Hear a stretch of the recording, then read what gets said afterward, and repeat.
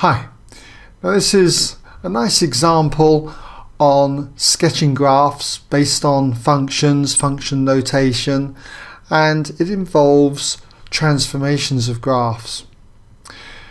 So you, you might like to read it through and pause the video at any of the questions and fast forward it to find the work solutions. Okay, well what we've got here anyway is a sketch showing a curve with equation y equals f of x, where f of x equals x over x minus 2 and x cannot equal 2.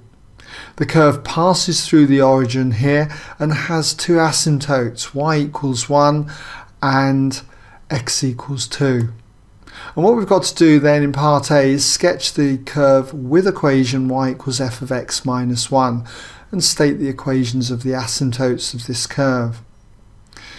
So for part A then, to sketch this graph, what I'd want to do is to just copy the old graph down again, okay, there it is there.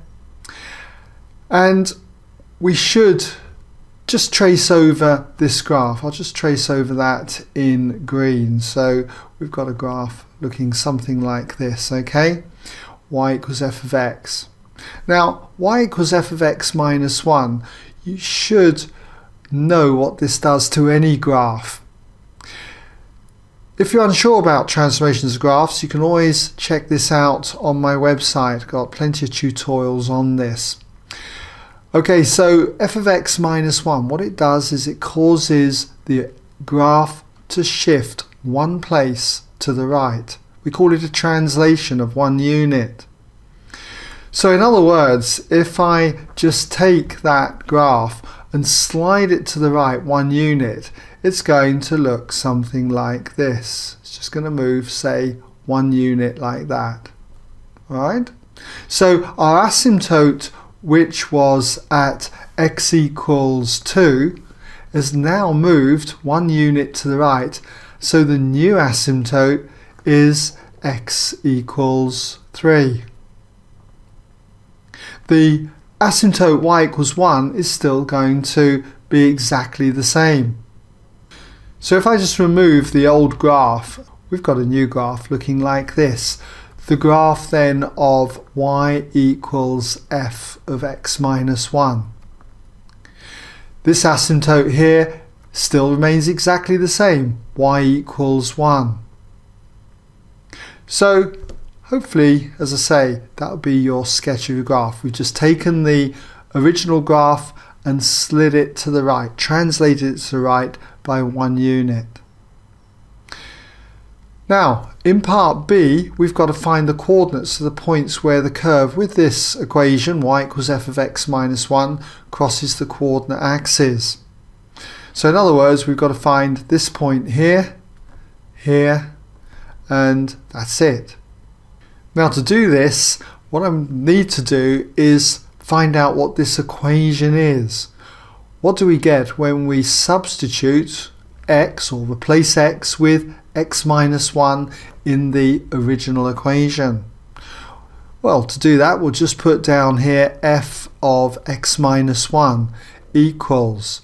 So wherever we see an x in here, it's replaced with x minus 1. So we're going to have x minus 1 on the top here, x minus 1, and that's all divided by, this x is replaced with x minus 1, and then we've got the minus 2. And obviously if you simplify this, you're just going to have x minus 1 then all divided by x minus 3. So that's the equation then for the green curve. So when it comes to figuring out where it crosses say the y-axis, okay, then that's going to be when x is 0. So if we just say when x equals 0, what do we have? Well, we have that y would equal 0 minus 1, so that's going to be minus 1, all divided by 0 minus 3, so that's over minus 3. So in other words, y equals a third. So we've got it crossing at this point at 0, 1 third. Let's just mark those coordinates in there. Okay, I'll just put an arrow to that one there. That point there is 0 and then 1 third. Now we've got to get this point here and we can do that when y is equal to 0. So if we just say when y equals 0, what we have is x minus 1 over x minus 3 would equal 0. So you can only get that if the top is 0. So that must mean that x minus 1 must equal 0. And it follows then that x must equal 1.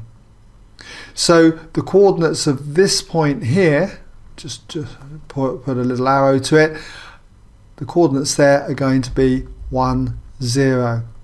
Alright, so hopefully then you've got those coordinates and that brings us now to the end of this question.